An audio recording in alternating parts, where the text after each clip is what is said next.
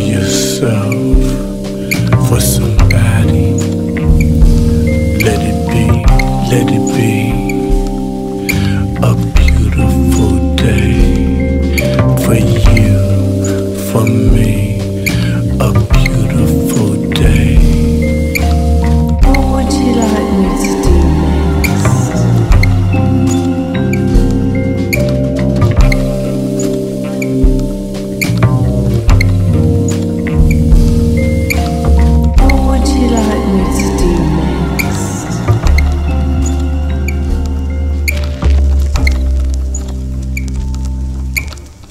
Thank you.